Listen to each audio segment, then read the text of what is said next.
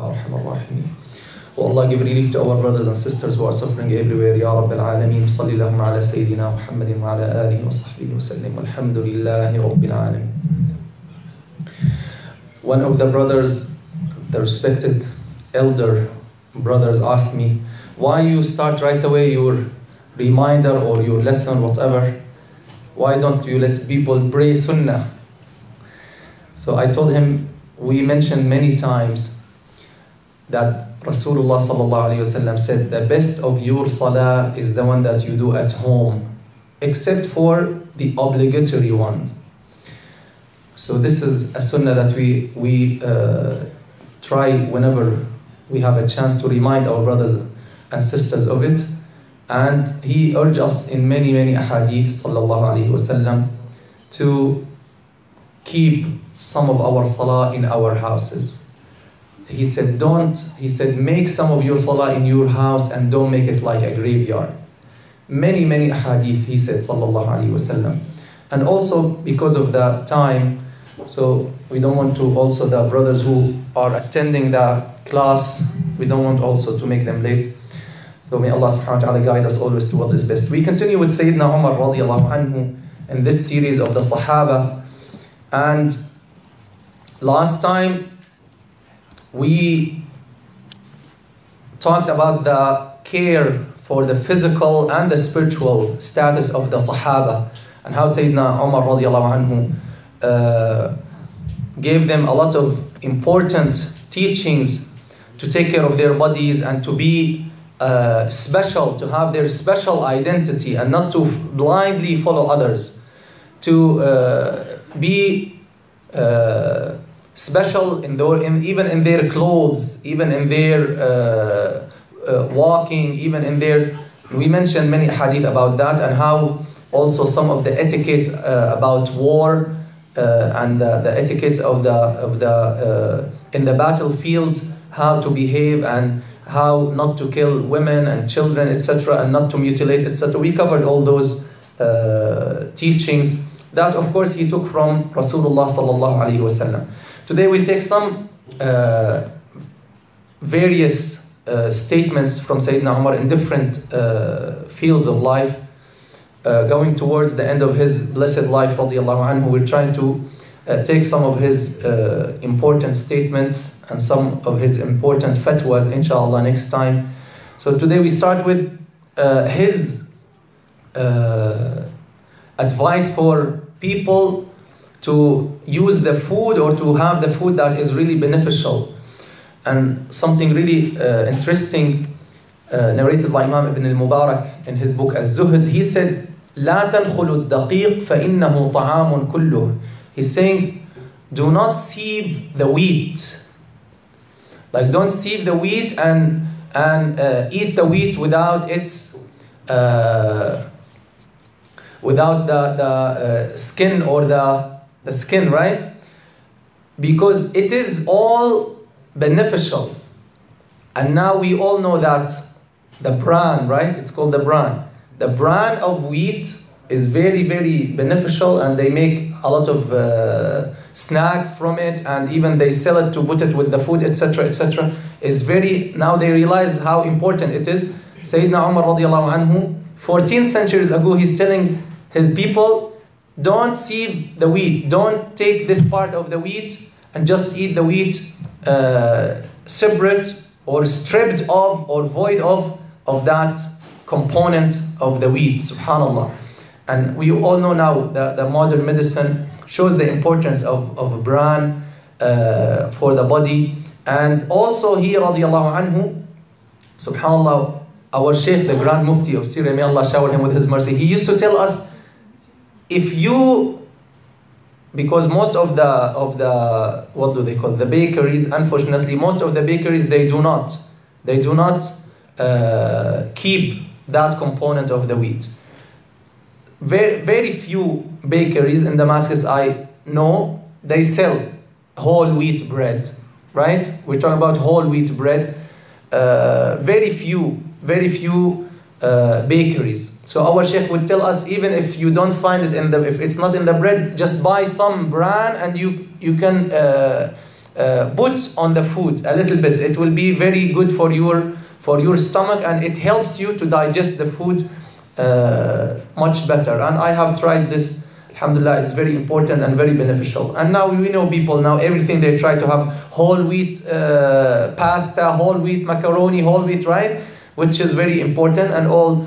Alhamdulillah, all yani, people in the nutrition field they advise they advise you to have this. Also, on the other hand, he warned people to eat a lot of meat, which is, which is again uh, medically proven to be harmful for the health. So he said, as in the hadith narrated by Imam Ibn Abi Shayba, do not continue or not, do not eat a lot of meat and do not uh, persist on eating meat. Some people, I heard, they cannot eat uh, lunch or dinner except that if it has meat. Every day every day. That is harmful for the harmful for the for the body. It's not good for the body. Especially if it's the, the red meat they say. So these are you can see that subhanallah it's not like about fasting and praying. This is our religion this is our religion it's about everything that is beneficial for you it's about everything that helps you live a happy healthy good life. Also, we go to another uh, field or another uh, arena in, in, in uh, life about clothes. He used to warn people to imitate the non believers, to imitate non Muslims in their clothing, to just look like or to, to, to love to look like them. This is not permissible in Islam that you wear something only that you love to be like them. You should not love to be like them, right? And that is if, if there's nothing haram in it. If there's something haram in it, then it's haram. If they wear like, let's say the men, they wear gold rings. For you, it's haram to wear gold rings because it is haram on men. Or silk clothes, right? This is this should be understood by every Muslim man that it's haram on the Muslim men to wear gold or silk, right? There are exceptions for silk. If someone has a disease, a skin disease, whatever, there are exceptions. Rasulullah gave the exception for those people. But in general, of course, gold and, and, and, and silk are forbidden on, on the Muslim men. If you try to imitate them in, in certain clothes they wear, now we, some men or women, they wear some jeans that are torn, right, from different places, right? Patched with different patches. So the Muslims who are wearing this, I'm sure they're not imitating Sayyidina Umar radiallahu who had some patches in his in his thobe, right?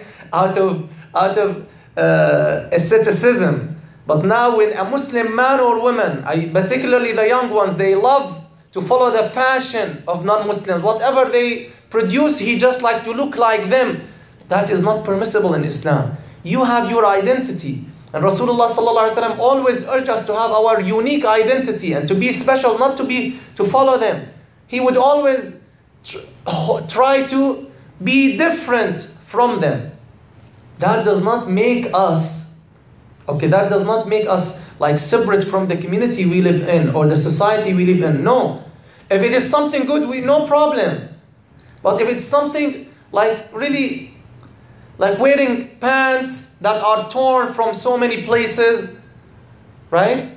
So these are the things that Rasulullah sallallahu as well as Sayyidina Umar radiallahu anhu forbade Muslims to, to do, to be just do things just to look like non-believers. No. So he, radiallahu anhu, sent and wrote a letter to Sayyidina, uh, to, to one of the uh, companions or the followers, Utbah bin Farqad, in Azerbaijan. He was in Azerbaijan and he told him, Beware of uh, luxury and beware of the clothes of, of non believers and beware of silk clothes because Rasulullah forbade us from that.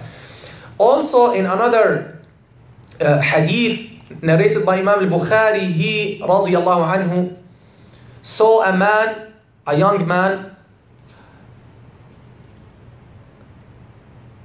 whose clothes were touching the floor behind him. His pants or clothes was too long that it was uh, touching and like wiping the floor behind him. So he said, "Oh my, oh son, uh, uh, oh nephew, or oh son, oh brother, irfa izarak, raise up your dress, raise up your pants, raise up your pants." فإنه أتقى لربك وأبقى لثوبك. It is more pious. Why? Because in those days, one of the of the signs of arrogance and pride is that the men they let their clothes very tall and they pull it behind them. So that was a sign of of arrogance, and that is this is why if someone does it for, out of arrogance, it's forbidden. But if someone his pants are long below the ankle, not for bride, that is not haram, but it's not good. So he said, it's more pious for you, Lord, and it keeps your dress, right? It helps you to maintain your dress. If it's pulling, uh, if it's being pulled behind you and wiping the floor, then it will it will get torn soon, right? And Rasulullah mentioned the same hadith in, uh, in the narration of the of the Prophet ﷺ, he said, وَأَنْقَى and it is also purer. It's cleaner for you because it will it will be polluted with dirt. So it will maintain your clothes. It will be pure and it will ha- it is more pious not to let your clothes or pants uh, be uh, much below the ankle or be covering the foot and wiping the floor behind you especially when you go in the in the restroom we find some young men they, they don't know because they did not learn. So we have to teach these things even though they might appear like common sense but we find many of, of sometimes also men you find their pants from from the bottom they're torn and they're and they're dirty. And they enter the restroom and they uh, some you know some kids they they pollute the floor with with uh, urine. So then you come with your uh, jeans or whatever, and you you wipe that urine with the with the bottom of your pants, and you're unaware, and you come and pray, and you think your salah is fine. You have to be careful. So once you enter the restroom, you need to pull up, right, and roll up your sleeves and roll up your pants so that they will not be uh, they will not get the dirt and they will not be polluted. In another uh, hadith about women, he said, radiallahu anhu, that women uh, don't let your women wear the Coptic clothes. There's a type of a type of Coptic clothes that used to personify the body, that used to make the body parts very apparent and very clear, as now many of our women do, the Muslim women. They think that hijab is only not to let the skin appear. That's not the only condition for the hijab. One of the main conditions of the hijab is that this hijab or this piece of clothes, whether the pants or the skirt or the dress, should not be tight, should not show the parts of the body. If it shows the parts of the body, then that's not hijab. It's not fulfilling the conditions of hijab. Still, we find some Muslim women, may Allah guide them, and may Allah help us to, to guide our sisters and our wives to draw their attention to this, which is extremely important to tell them hijab is not only to cover the hair or to cover the, the hands, and then you come with tight sweater and tight jeans or tight pants. That is not hijab. That is not the right hijab. Also, radiallahu anhu, he as in the hadith narrated by Imam al-Bukhari, he said that Rasulullah sallallahu alaihi wasallam cursed the women who try to imitate men and be like men, and the men who try to be like women.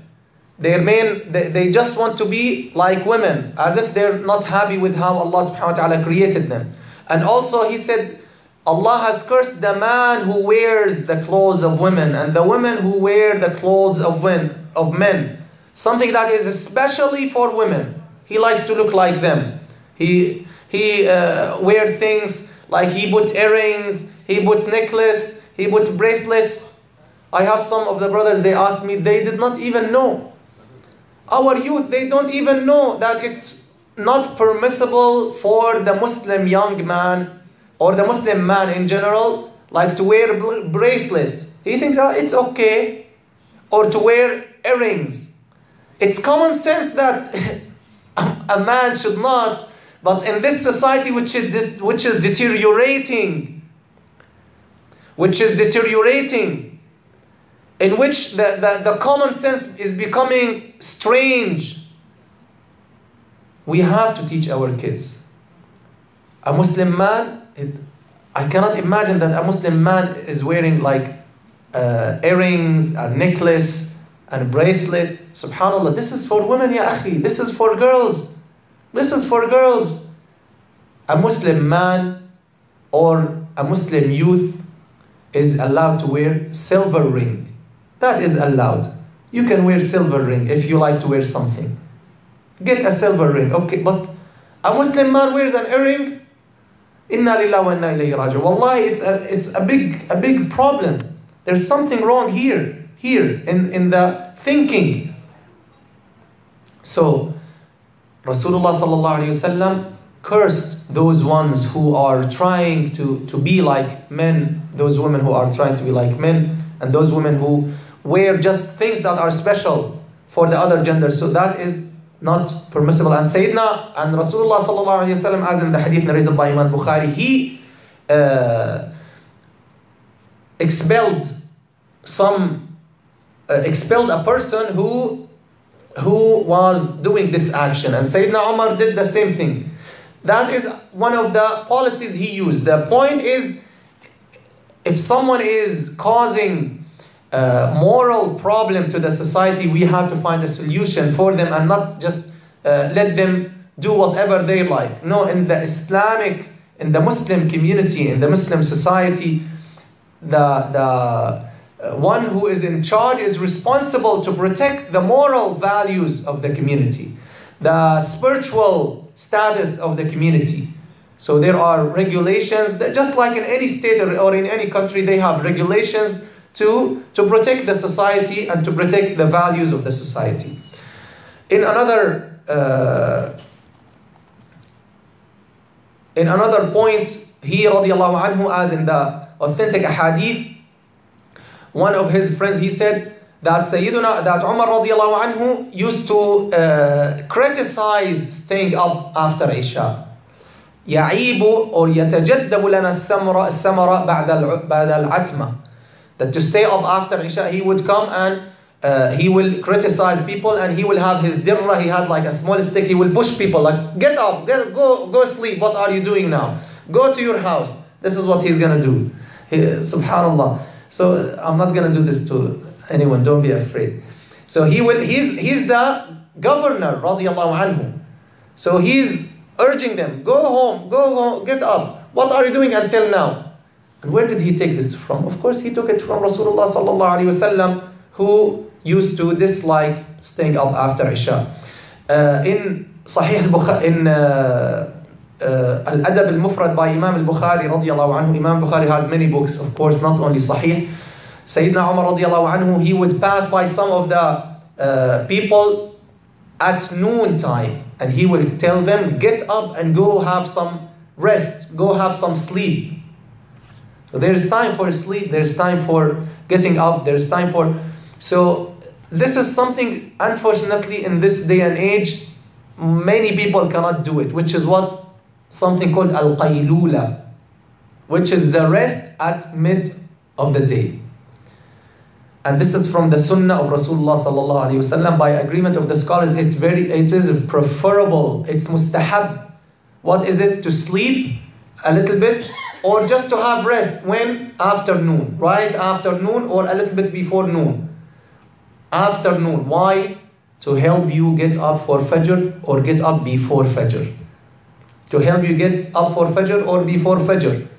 And uh, the hadith that is mentioned from Rasulullah sallallahu alaihi wasallam qilu fa inna shayatin la taqil. Have qaylula have this time of sleep or rest like one hour one hour and a half because shayateen does not take qaylula, do not take qaylula. So he's taking take qaylula because shayateen don't take qaylula.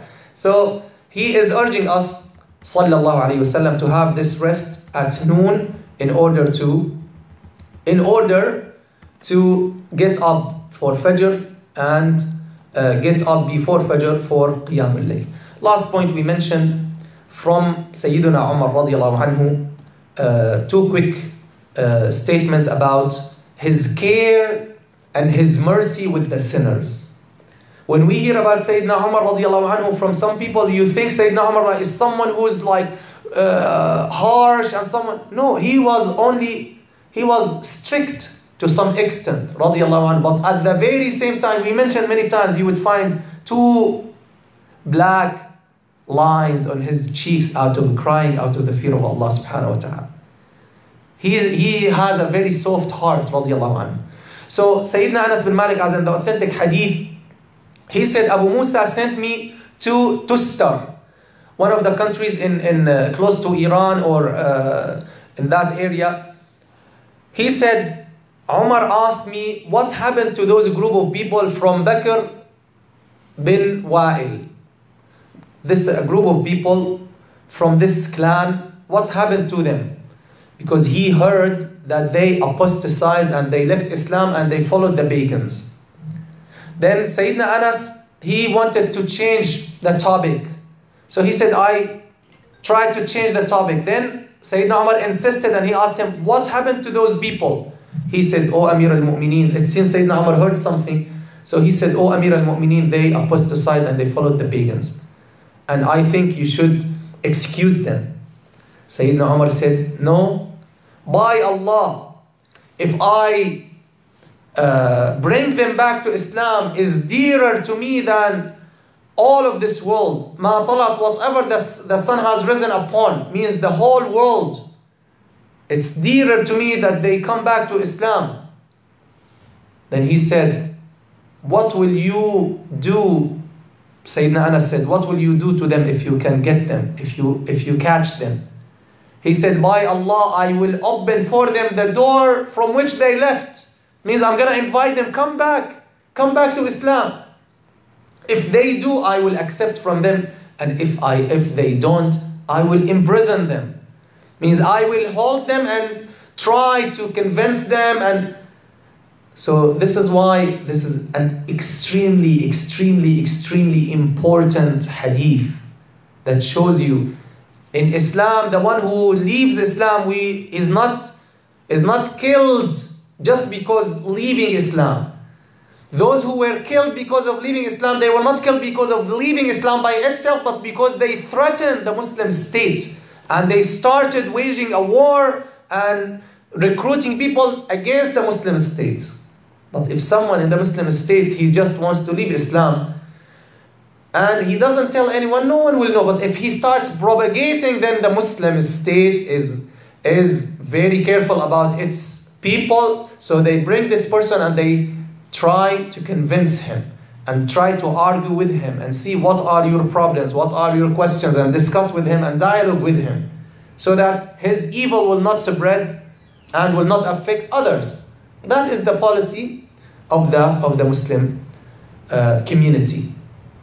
So, radiallahu anhu, that was his, his uh, position because they might, they might uh, have they, they might have been ignorant about Islam, they might uh, have been uh, tempted or seduced by those non Muslims, etc. etc. So there are many reasons. So he, radiallahu anhu, he said, It's dearer to me that they return than having the whole world.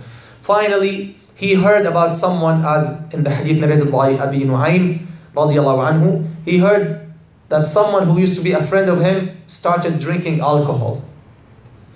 So they told Sayyidina Umar, Yeah, oh Amir al Mu'mineen, this so and so, he's uh, he started doing this, he, you know. Then what did he do? Radiallahu anhu. And we heard this that, this story a lot from our Shaykh, may Allah have mercy on him. He said he got, he told him, Give me a, a, a, a pen uh, and a paper, give me to write him a letter. So he wrote, Bismillah ar-Rahman ar-Rahim, Hamim.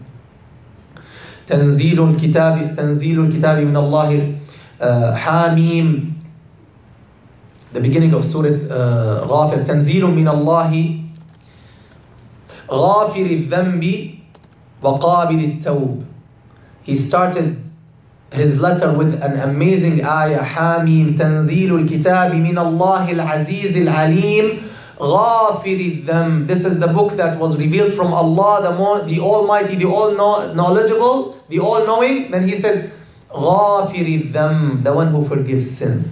Qabil al the one who, who accepts repentance. Shadid al-Iqab, also the one who is severe in punishment.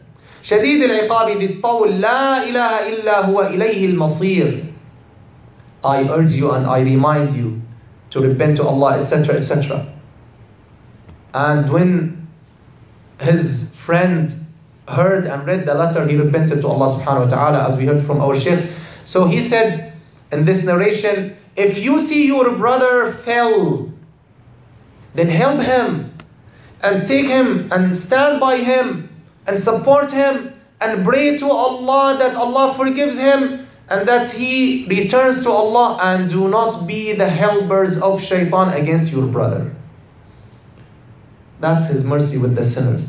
When you see your Muslim brother fell in something wrong, in a mistake, try to help him, support him, pray for him, and don't start propagating his sin and spreading his sin and no, don't be the helper of shaitan against your brother. Be the helper of your brother against shaitan. May Allah subhanahu wa ta'ala make us learn more and more from these great people. May Allah subhanahu wa ta'ala make us of those who listen to the speech and follow its best. Sallallahu alayhi wa sallam. Muhammad. Walhamdulillahi rabbil alameen.